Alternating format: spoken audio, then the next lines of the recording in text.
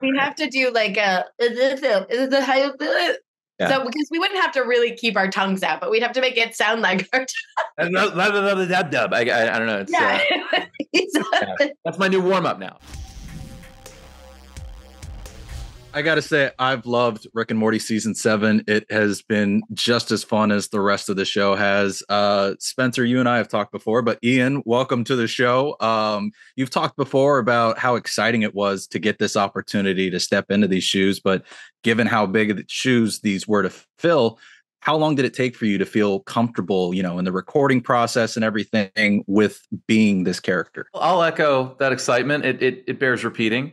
Um, and I I came at this I came into this job as a fan first as well. So uh, you know, just I have loved it for the ten years it's been on, and so uh, with that comes great responsibility, right? Um, so I, I don't know if there was a specific moment when I fully felt uh, that it, that it clicked in. I think that it's it's uh, it's an ongoing process. It was all summer. It will continue to be as these characters grow. Hopefully, I will too.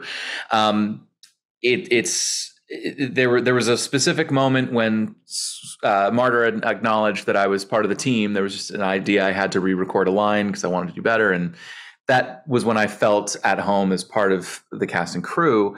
Uh, and so that was that was a, a wonderful moment.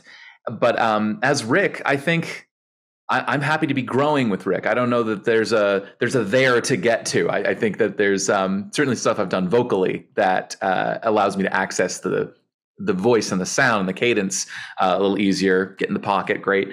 But um, I, I think that Rick is he's a growing human being as we all are. And so I'm happy to be on a, a, moving a journey moving forward with him. Well, I love the journey that you've started with him. Uh, the the transition has been seamless in my mind. So that was the goal. Thank you. That. Yeah.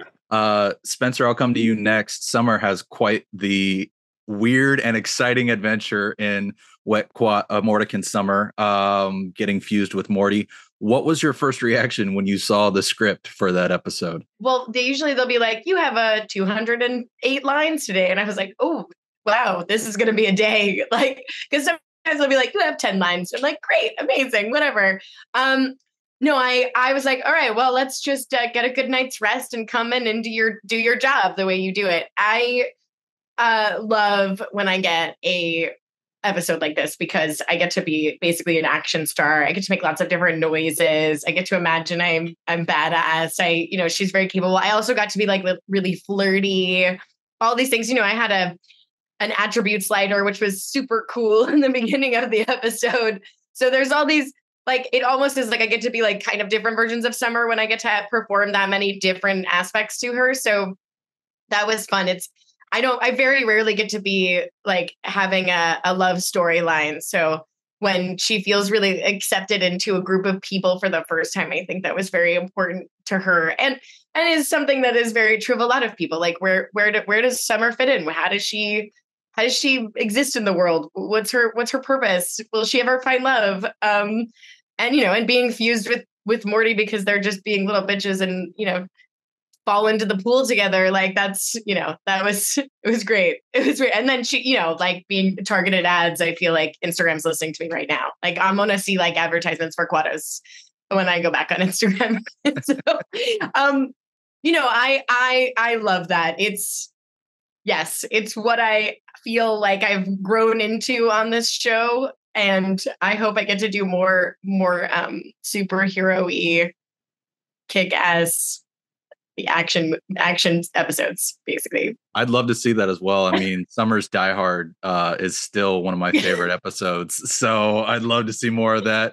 Uh, ian i'll come back to you. I mean this show invites a lot of ad-libbing uh, from the actors uh, especially rick in particular and i'm curious you know did you find yourself getting the opportunity to do that a lot this season or were you still trying to kind of find the footing as Rick uh, for season seven's recordings? Yes and no, a little bit here and there. Uh, I would say that the the writing that we're given on the page it, it doesn't require much more it's already uh, it's already written so wonderfully and so we're given gold on a page and it's you know if i can deliver those lines even as if they're uh, improvised in the moment that's kind of the that's kind of the job um, so there's there's not a ton of um, a ton that I need to do uh, of, of, of um, my own flavor to add on top of the brilliant writing that's already given. That said, uh, once I was a little more in the flow of things this summer, and with, of course, this uh, the support of Martyr and everybody in the room uh, each day when we're recording, um, there were, of course, moments when we could try some alts and we could try some new noises, and uh, it, it is it's delightful when I can make that the other side of the the glass laugh. If, if I can get if I can see people chuckling on the other side of what I'm doing, that's that's uh, the the most rewarding part of being in in the recording process for sure um, you know, whether it's the delivery of a line or just a little improv I throw in that might not make it to air, but we're all having fun. So I'm glad you get to have that collaborative process. It sounds like quite the blast uh, to be a part of. Uh, Spencer, I'll come back to you. Uh, this show is known for its opening credit montages, uh, generally not making their way into episodes, though this season definitely saw the most of them uh, appear. Now, uh, what is one either from this season or from the past you would love to see come to life, especially in regards to summer? Oh my god, I don't mm. know. That's so sad. I was just saying, I was like, these are the ones that catch me up every time. Do you have one, Ian? Because I don't know. Like, as an I'll tell you right now. Yeah, I'll tell you right now. What's your favorite one? I'll tell you right now. I would love to see a Rick balloon in the Macy's parade, as depicted in, in in one of those openings. That'd be great. In a real life, you mean? Like oh, a real that's life? What that's what I'm saying. I'd love to see that one come true. That's one that's depicted. I'd love to oh see. Oh the question? Was it which would you like to see? Just which one or explored in like the show? Oh, explored in the show. Well, I like the one where where Jerry is like balancing his legs between the chairs. you know, like I was like, what Jerry is that? Like, I want to see that. What world are we in where we're like literally Jerry is like the most flexible man who's ready to just take on the world as a sensei, you know? um, yeah. I know my son has this theory that the creature at the end is like the final episode of Rick and Morty ever. And I was like, no, Emmett, that's not that they're just being chased by this giant squid, you know, in space. and I'm like, that's not, but he's been watching it for so many years now. He's like, no, that's definitely the last one. That's it. That's the one.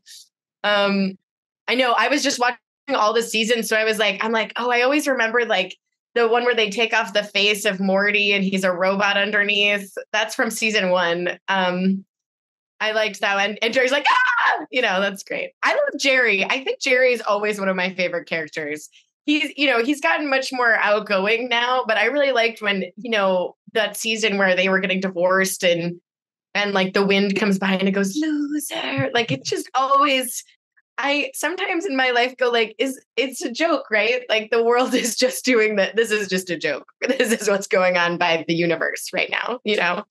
Um yeah do you got any other ones? Yeah, it's a, it would be cool if there's a Macy's Day Parade for real. Yeah, he's so he's um, definitely a. Uh, a I, I'm saying Jerry has definitely got some of the best one liner, or you know, my favorite one liners from season seven. Um, as far as the this season's title sequence, I, vocally, I think it'd be interesting to to to, to tackle snowboarding on our tongues. Uh, I, I, don't know how I would mechanically, physically do that. But um, yeah, if they throw that at us, that'll be fun. No, if we do an episode like this, right? Yeah. how we'd have to do it. Doing the, voice, doing the, voice, doesn't have enough of a challenge to itself. You have to now stick yeah, your tongue. You, we have to do like a is this a, is this how you do it? Yeah. So because we wouldn't have to really keep our tongues out, but we'd have to make it sound like our tongue. dub dub. I, I, I don't know. It's, yeah. Uh, yeah. That's my new warm up now. I'm just gonna do that. I'm just my tongue out. We, we use telepathy in that episode. We just, you know, we so our There's voices would be regular. There's the way around it. There's, There's no actual voices. Just telepathic sound. Yeah, like Quados. There you go. Like Quados, Although, exactly whole thing. If you do the if you do the tongue thing, there's got to be some behind the scenes footage to show just how. Oh my god, there will be. I'm sure. I you know, but some of the things I do to make sounds, I I'm like I don't even know. I, this might get flagged. Like if I'm, like, you know, like some of the things you're just like I can't show people this. This is yeah this is too much.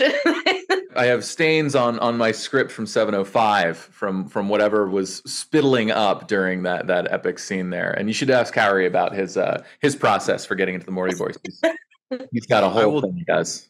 I will definitely have to, especially as I see I am out of time. So I'm gonna have to let you both go. But thank you so much for taking the time, uh, Spencer. It was great catching up with you, and Ian. Welcome to this wonderful world. I look forward to hopefully talking to you when season eight comes around. Hope so. Thanks, Thanks so Grant. much, Grant. Green, Grant. Absolutely.